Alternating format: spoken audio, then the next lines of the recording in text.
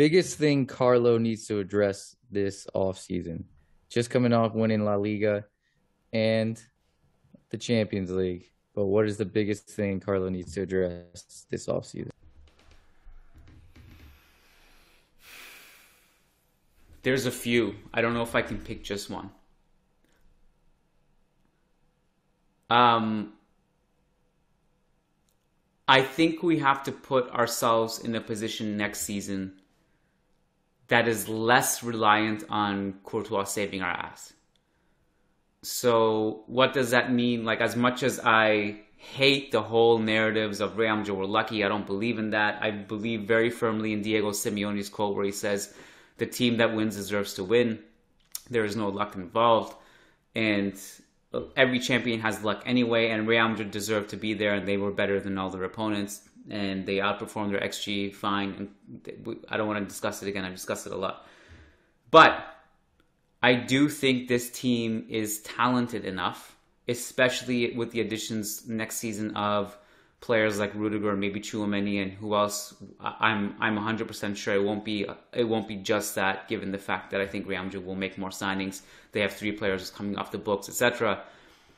I strongly believe this team is too talented to be getting put on the ropes as consistently as they get put on the ropes, and I think that starts with it starts with fixing the press. And I think while we can argue some of the older players can't press, as that's been explained to us. I also think beyond the physical aspect of it, there were structural problems to the press early on and not just physical aspects of the press.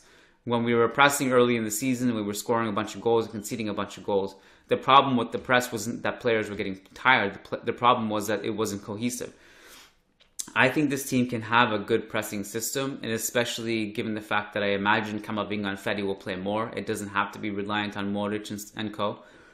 Um, so there, that's one thing. That's the structure. Uh, the the biggest, apart from that, I think the biggest question that has to be answered next season, and this is jumping the gun a little bit, and I feel uncomfortable saying it because it's not uh, something that is official, but I'm just saying it.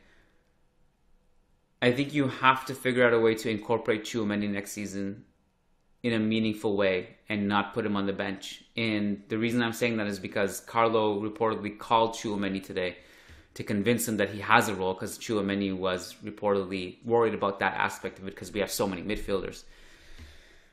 What Carlo could have possibly said in that phone call to him, I have no idea to convince him because what is he going to say? well, like, yeah, you're going to start over Casemiro. He's not going to say that. I mean, I, I think what he would have probably said was that we believe in you, think you're going to be an important player. You're not going to start necessarily just because we're signing you for a big price. You'll have to earn it. But incorporating him, I think, will be important to the way we play because Casemiro's style of play. I put it on my Twitter thread today. I'm analyzing every single player in the squad, one to twenty-five, and what I said about Casemiro was that um, while I've been critical of his on-ball ability in many years in the past, um, when he's being pressed, you take his you take his presence out of the team, and it's the the defense just completely melts. So it's a dichotomy, it's a paradox. You need him, but you also could do without him. But you really need him because of the way Madrid plays. And if you want to have a better defensive structure, uh, or sorry, no, not a better defensive structure, a better overall structure behind the ball and a and one that can control and press and have a better build up. I think you're gonna have to incorporate Tchouameni more. So I, I those are, that's just a couple of things that uh, that I think that you know the Tchouameni thing is not something to improve on, but it's I think directly related to my my point number one, which is I think this team is too good to be put on the ropes as much as they are. Yeah, I don't have too much to add to that. I think maybe just building off your second point, there's going to be four competitions that we're in now um, because we're now in the Club World Cup, and then you plug in a World Cup, an actual World Cup in the winter, um, followed by the Super Cup like immediately after that. I think it's just a ton of competition, ton of mileage, ton of traveling. I think we're going to need a bigger squad next season I think you have to account for if Karim Benzema goes down or if, if he just runs out of form. Um, I think these things have to be like Casemiro. Same thing with Casemiro. There's been no natural replacement. Tchouameni would be a natural replacement. So I think these things have to be accounted for. I worry about the right back position. I think um, I think the club probably feels Carvajal and Lucas Vázquez are enough now after Carvajal's turnaround in form. But I just it's it's so hard to bank on Carvajal who will be turning 31. And yes, he he proved himself at the tail end of the season. I thought he was absolutely phenomenal in the final and one of his best performances for years.